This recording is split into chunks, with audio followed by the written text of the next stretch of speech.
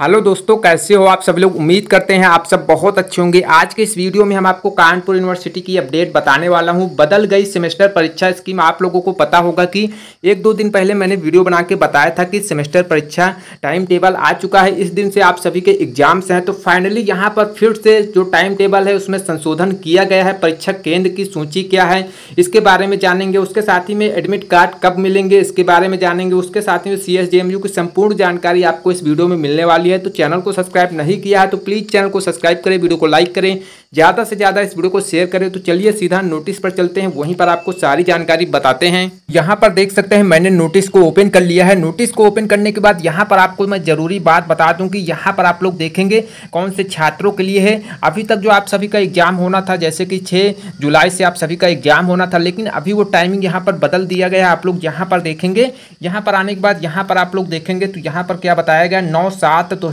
से आप सभी के एग्ज़ाम्स होंगे। उससे पहले आप सभी को एक डाउट क्लियर कर दूँ। बहुत सारे छात्रों का डाउट है कि हमारा जो परीक्षा केंद्र है एग्ज़ाम सेंटर हमारा कहाँ जाएगा? तो 95 परसेंट बच्चों का जो एग्ज़ाम सेंटर पिछला वाला ही रहेगा, उसमें कोई भी संशोधन नहीं होगा। ये मैं आपको 95 बता रहा हूँ कि 95 परसेंट आपका जो सेंटर है, वो पिछला वाला ही रहेगा, उसमें बदलाव नहीं होगा। लेकिन जो सूची आने का वेट करते हैं, अभी तक सेंट्रल लिस्ट आई नहीं है। जैसे ही आएगी, आपको तुरंत वीडियो के माध्यम से बताऊँगा। तो ये पहला डाउट हो गया। और दूसरा डाउट है बच्चों का कि हमारा एडमिट कार्ड कब तक आएगा? एडमिट कार्ड हम कब से डाउनलोड कर पाएँगे? तो मैं आपको बता दूँ कि यूनिवर्सिटी का हर बार से यही रहा है कि आपको जो एडमिट कार्ड हैं, एग्ज़ाम से चार दिन पहले ही आप डाउनलोड कर पाएँगे। ये तो मैंने बहुत ज़्यादा बता दिया, लेकिन एग्ज़ाम से तीन चार दिन पहले ही आप एडमिट कार्ड को डाउनलोड कर पाएँगे। उससे पहले नहीं कर पाएँगे।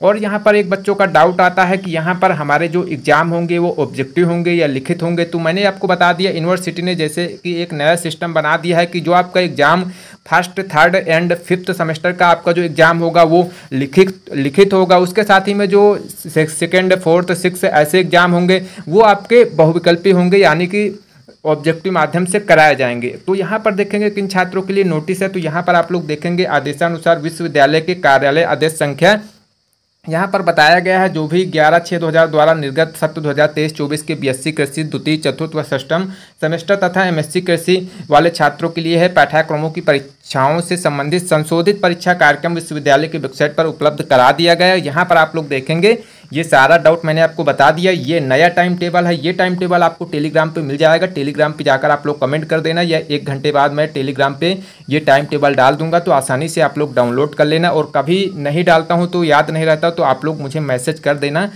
तो यहाँ पर मैं टेलीग्राम डाल दूँगा बीएससी और एमएससी एग्रीकल्चर वाले छात्रों के लिए ये अपडेट है, जो मैंने आपको बता दिया। वीडियो कैसा लगा कमेंट बॉक्स में कमेंट करके ज़रूर बताइएगा। फिर मिलते हैं किसी नई वीडियो में, तब तक के लिए धन्यवाद।